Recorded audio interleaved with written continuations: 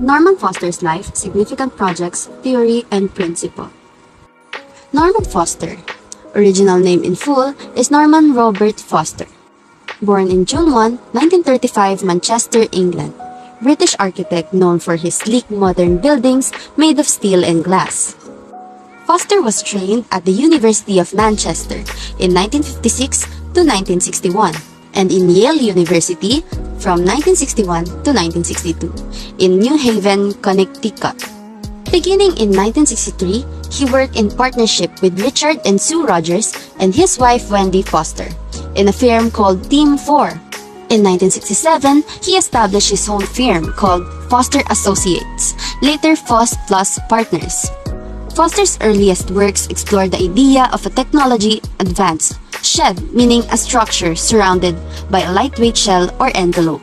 Foster's first buildings to receive international acclaim were the Sainsbury Centre for the Visual Arts 1978 in Norwich, England, a vast, airy glass and metal panel shed, and the Hong Kong and Shanghai Banking Corporation headquarters in 1986 in Hong Kong, a futuristic steel and glass office building with a strapped profile. In these commissions, he established himself as one of the world's leaders in high-tech design for the latter building. For example, he had an indigenously moved elements such as elevators to the exterior of the building, where they could be easily serviced and thus created open plans in the center of the spaces. Balancing out this high-tech character, many of Foster's buildings including his Hong Kong office and the Commerzbank Tower in 1997 in Frankfurt am Main, Germany utilized green spaces or mini atria that were designed to allow a maximum amount of natural light into the offices. In this way, Foster created a more fluid relationship between inside and outside spaces and to strove to impart a sense of humanity into an otherwise futuristic office environment. Foster, a veteran of the Royal Air Force in 1953 to 1955 and an avid pilot, also applied his preference for open plans and natural lightings to airports such as Stansted in 1991, outside London, and Chek Lap Kok in 1998 in Hong Kong, and to the expressively simple American Air Museum in 1997 at Duxford, England Airfield. At the turn of the 21st century, Foster extended his ideas to world landmarks. He rebuilt the Reichstag in 1999 in Berlin, after the reunification of Germany, adding a new steel and glass dome that surrounds a spiral observation platform.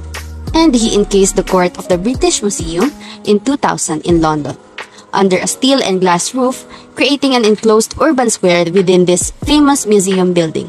Foster's noteworthy buildings of the 21st century included the headquarters for Swiss Re, later 30 St. Mary Axe and nicknamed the Gherkin in 2004 the courtyard enclosure for the Smithsonian Institution's Patent Office Building in 2007 in Washington's D.C., Terminal 3 of the Beijing Capital International Airport in 2008, and London City Hall in 2002. His later work included the art of the Americas Wing at the Museum of Fine Arts in 2010, Boston, the Queen Alia International Airport in 2012, Amman, Jordan, Ciudad Casa de Gobierno in 2015, the master plan for the Norton Museum Art of 2019, West Palm Beach, Florida, and the Datong Art Museum in 2021, China. He also designed Apple Park in 2018, the headquarters of Apple Incorporation in Cupertino, California, as well as a number of the company's high-profile retail locations, including Michigan Avenue in 2017, Chicago, the Champs-Élysées in 2018, Paris, and Marina Bay Sands in 2020 Singapore.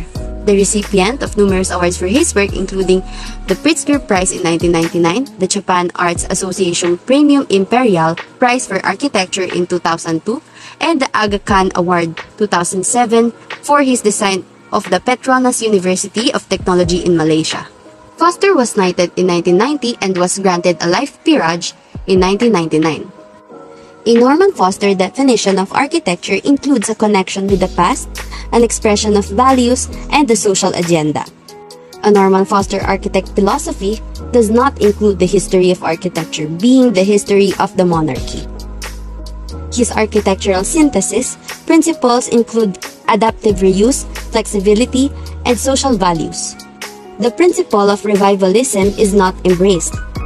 A list of Foster's values includes adaptability, flexibility, ecology, environmental awareness, integration, regeneration, reuse, social responsiveness, and technology.